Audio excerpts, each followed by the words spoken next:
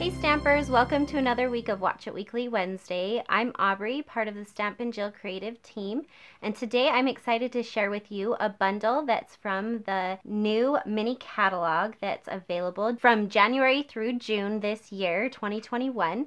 The bundle that I want to share with you is called Brushed Blooms.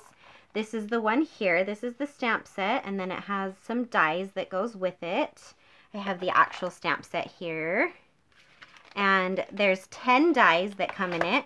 There's this really fun, well, there's all these cute flowers. There's some that cut out some of the flowers in the set, and then there's some that you can build flowers with.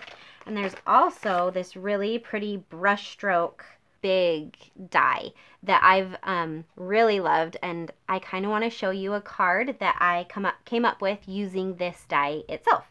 So let's get into that. I'm going to start by showing you this beautiful rainbow glimmer paper. This is the paper that I'm going to use in the backing of my card. So like this. And then I've already pre-cut out that die, that cute brush stroke look. And I also, I'm not sure how well you can see that in the video, but I ran it through the Painted Texture 3D embossing folder. I just to give it just that little bit of texture on there and it's super cute. Love that. So I'm going to just put this right over the top of my rainbow paper like this. So I'm going to use glue dots to do that. And the way I'm going to do it is I'm just going to put a glue dot in each corner of my rainbow paper here. Just like that. And then I'm just going to overlay this right over the top of that. Make sure it's covering all my places. Just like that. So cute. So you have a cute rainbow glittery background there. Okay. And then I'm also going to adhere that right on top of my card base. And I'm using just black with that too. I'm going to use dimensionals and just one in each corner. And adhere that on like so.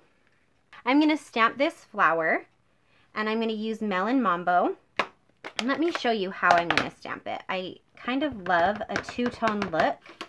So I'm going to stamp it down one time and then I'm just going to shift my flower over and stamp again um, without re-inking my stamp so that I kind of get that two-tone um, look with the stamped off for the second one. Does that make sense? So that's what my flower is going to look like. And then I'm going to die cut that, which I already have done here. So that's how it turns out. And I am going to just layer this here with my saying from this set, Happy Birthday. So I'm going to put that right under here, like this, just like that. And then we'll dimensional my flower up. Oh, but you know what? Before I put that down, I do want to put a little bit of ribbon behind my flower. I'm just going to kind of fold it back and forth like that. Cut that. Okay. Just like that. And then I'm going to peel back my dimensionals here and they're going to help me hold that ribbon on. that one just a little. There, just like that. And then I'm going to adhere that down. And then one more step. I love this black and white baker's twine. So I'm going to tie just a little bow, just a teeny tiny one. And that is going to go right in the center of my flower. And I'll put it on with a glue dot just like that. So cute. Such a fun and easy card, but it comes together so quickly. So let me show you a few other cards that I've come up with using this stamp set. I have one other that I've done. It's done the, the opposite direction here. And I used the saying, let's paint the town as long as I'm home by nine. I love that saying in this stamp set. I have a friend who I, for the life of me, I can never understand, but she's like in bed by 8:30 every night. So this goes to her because she loves to go out and have fun as long as she's home by 9 because she has to go to bed. so, I thought I would give this card to her and just let her know how much I love her.